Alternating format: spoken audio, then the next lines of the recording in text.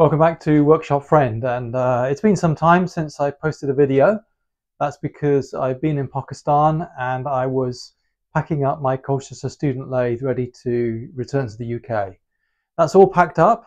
I returned a few days ago and I'm waiting for it to be collected and I really don't know how long it's going to take for it to be shipped over here. So in the meantime I thought I would uh, start on another project. Uh, one of those is uh, my Meddings pillar drill and I want to put this three-phase motor which I took off my old lathe which I recently sold and I want to fit that on there with VDF supply so I can vary the speed and have a variable torque function too. You'll also notice some other changes here. Um, this space was occupied by my Myford Super 7 lathe which I've shifted over here and uh, that's in anticipation of the Colchester student coming and uh, I will put that roughly in this space. So today I've been uh, starting to work on um, this pulley. This is a pulley I worked on before to fit to my Meddings drill. Uh, that was for a single phase motor. Now I want to adapt it to this motor and this has a different size uh, shaft. So I'm working on this and I'm just sleeving this so that it can fit on here nicely and get it as low as possible. Having done that, I will then focus on uh, getting that uh, properly mounted on the drill and lining up the pulleys. So we'll go over to the lathe now and continue working on this bushing. So this bush I've just removed from the pulley and it was uh, to fit a different size motor. So rather than throw it away, I'm just repurposing it. For those of you who've seen me use this lathe before, you might notice that it's a bit uh, zippier, a bit faster of the starting and stopping.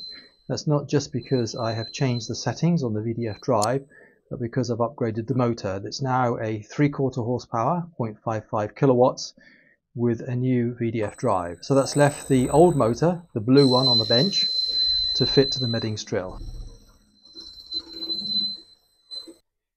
I think the swarf's getting stuck inside the chuck and it's just upsetting the, the tool when I get to the bottom of the cut. You can see there it was bushed before. So what I'm doing is I'm just machining that out and then we'll put a new bush in there and then uh, bore that to suit the spindle on the motor.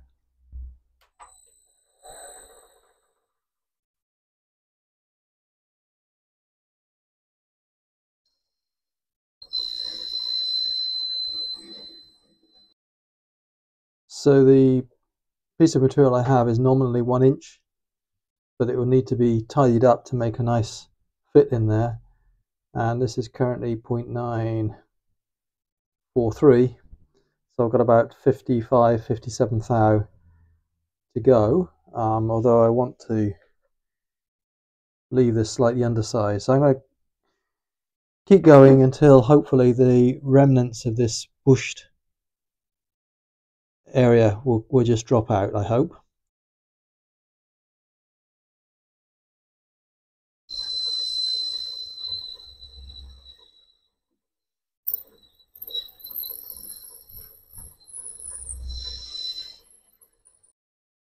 Finishing with a chamfer to provide a lead-in for the pressed-in sleeve.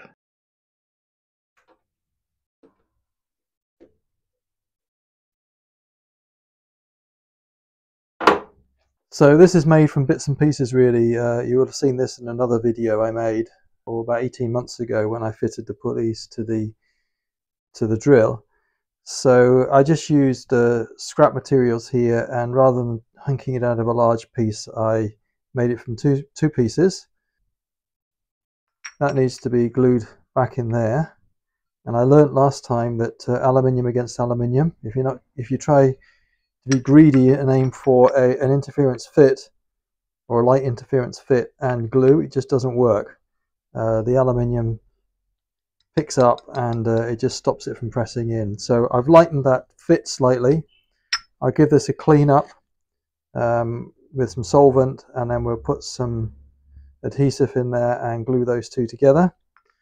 And then we can make the third bush, which goes inside here, and we'll suit the diameter of the of the uh, shaft. So I'll give that a clean and we'll press those together with some adhesive.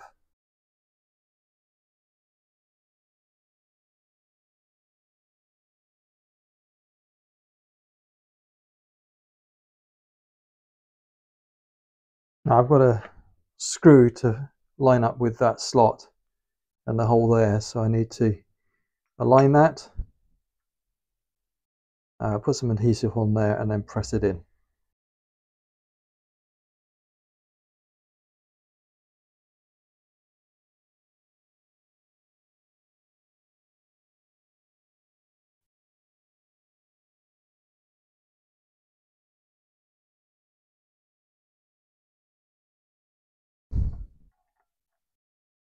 Make sure I line up the screw hole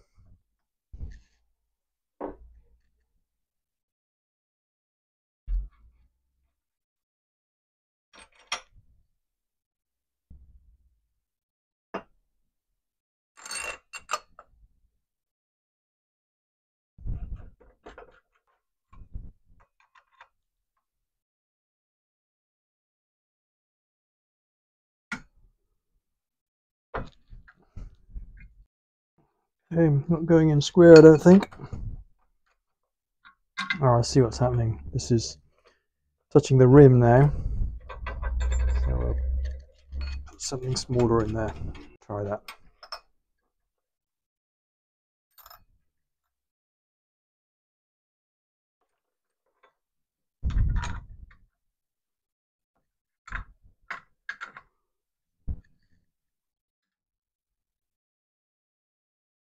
Just make sure we can get the set screw in. Yep. That goes in effect that we can come down a touch more. That's it. Good. I'm making the sleeve from a piece of one inch aluminium bar, uh, just facing it and then turning it down to be a nice fit into the bush I've already made. And uh, later on I'm going to relieve the center section to provide a gap for the glue to uh, bond with the other component.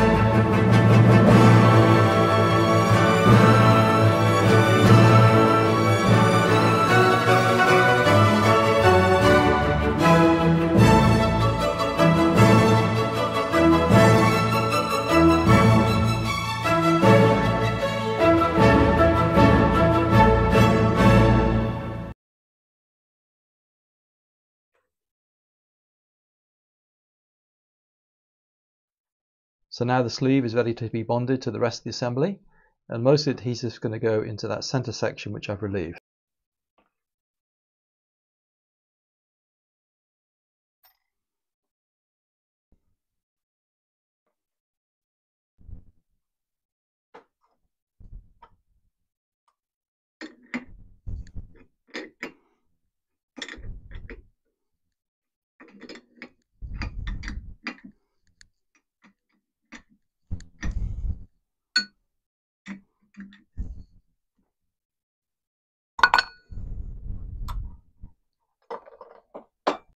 Okay, that's in nice and firm. I'm going to let that set overnight and we'll come back tomorrow, face this and uh, bore it out to the to the size of the shaft. I also need to put a clearance hole through this section here so that the set screw can go through. This is threaded. Uh, there's plenty of depth of thread there so I don't need to thread the inner part. It also needs to be slotted and uh, I'm also going to just face this off and tidy this up. There was a smaller pulley on here that got cut away when I bored this out. In fact, I don't need that smaller pulley. So um, yeah, we're getting there. Return to this tomorrow. So as so often is the case with workshop projects, certainly in my workshop, I've got to um, make a slight uh, diversion from my, my workflow. So uh, I'm going to going to need to mount this on my four jaw chuck, and unfortunately I don't have a chuck key at the moment. Um, the chuck key I had I shared with another chuck which uh, I sold with with my other lathe. So I've just turned up this uh, short length of silver steel or drill rod and um, left a larger larger diameter here for uh, a cross piece and I just wasted it slightly turn this down to uh, just over the uh, across corners dim dimension. So I'm going to take this over to the mill and mill four flats on there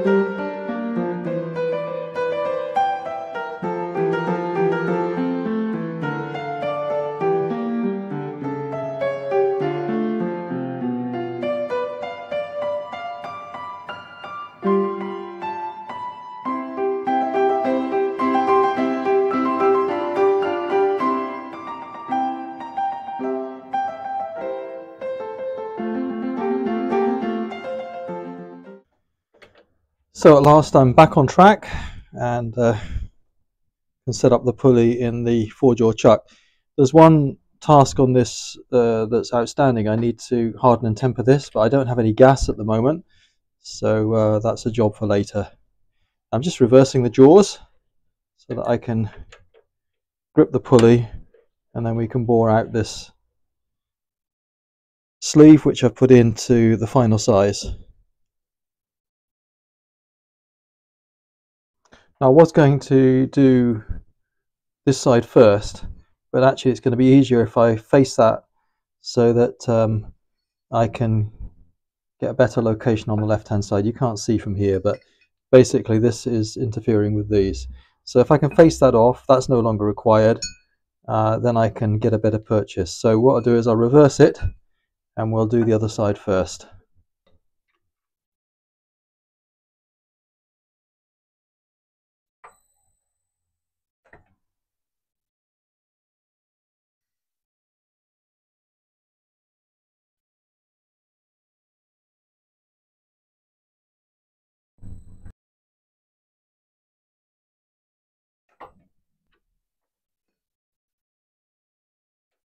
Okay, I've done a lot of fiddling around. So I've got it running more or less square and more or less concentrically. But to be honest with you, this rim isn't completely round. So that's the best kind of average. And uh, I'm going to settle for that. So we can now bore out the bush to the final size.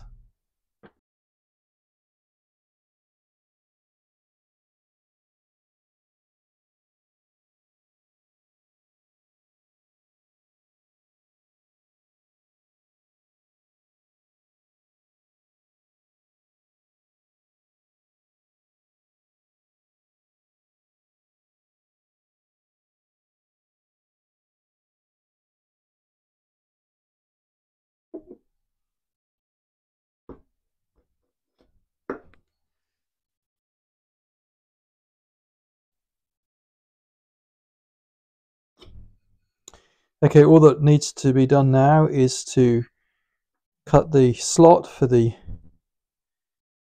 for the key and I need to make sure that that lines up with the with the position of the set screw So we'll go over to the shaper for that.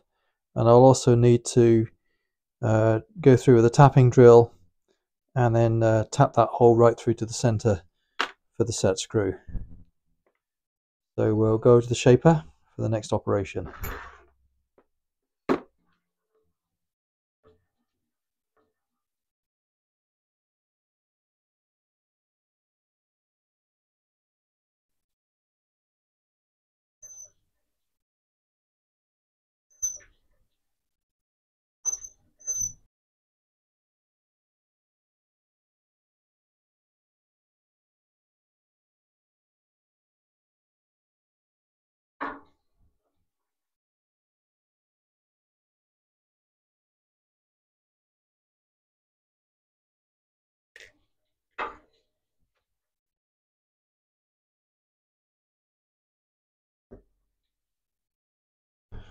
So just double checking the total depth of the keyway and the shaft. That's 0.6, 0.628.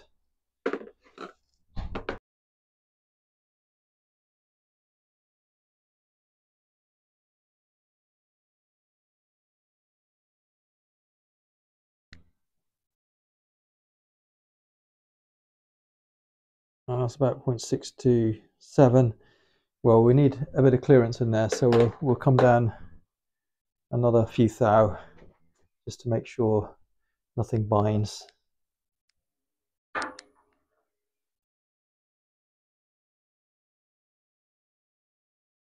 So what we need to do now is just open that slot up to the correct width and I'm, to do that I'm going to take a bit off each side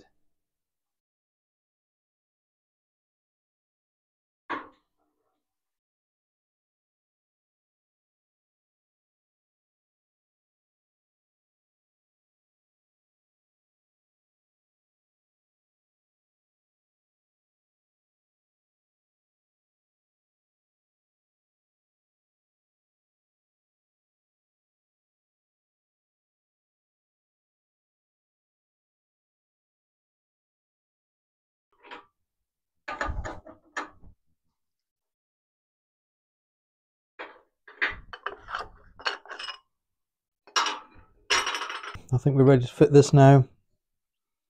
So I've got the set screw in and uh,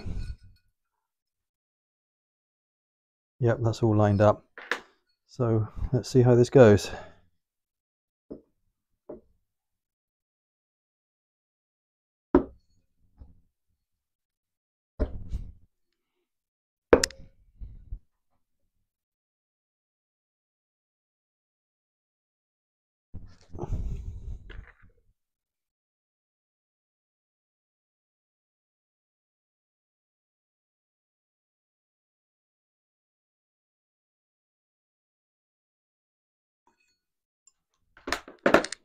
Okay, that's our pulley fitted.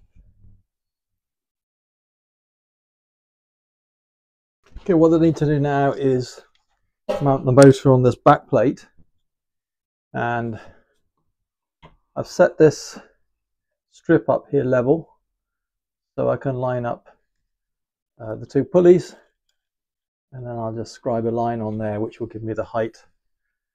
difficult to do this on my own but I'll go. That's about so that that distance there is about the same as that distance. I can scribe a line in there.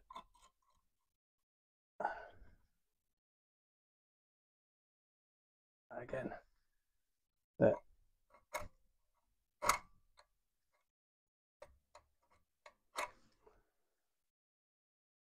Good. Well, that's all we have time for this session. Um, I'm glad to have got the pulley securely mounted on the motor and that's ready for mounting on the back of the pillar drill. So next video, I'm going to be doing the wiring. I've got a VDF drive, which I used with that motor before on my old lathe, uh, when it was mounted on my old lathe. I've got here a um, potentiometer, which I'm going to use for speed control. And I've got the rotary switch in there, the reversing switch I'm going to use um, to, to control the VFD. So that's next video.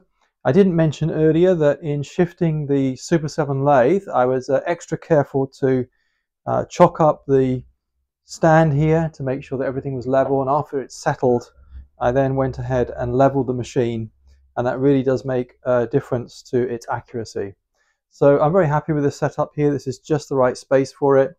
I put this white sheet behind it to give a bit of reflection to help um, uh, illuminate my work. I put this shelf up here too, provides a bit more storage.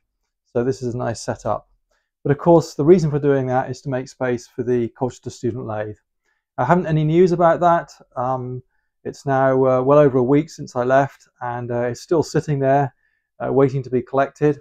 Um, so uh, we'll see. Hopefully I'll get it within the next uh, month or six weeks.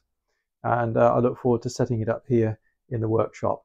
Anyway, before then, I'm sure I'll get another video out on the pillar drill. And uh, we'll, I do hope that you'll join me for the next video. I have uh, vastly many more viewers than subscribers. I think roughly 10 to 1 is the ratio at the moment. So if you haven't subscribed, then uh, do consider doing so. Thank you. Look forward to seeing you next time.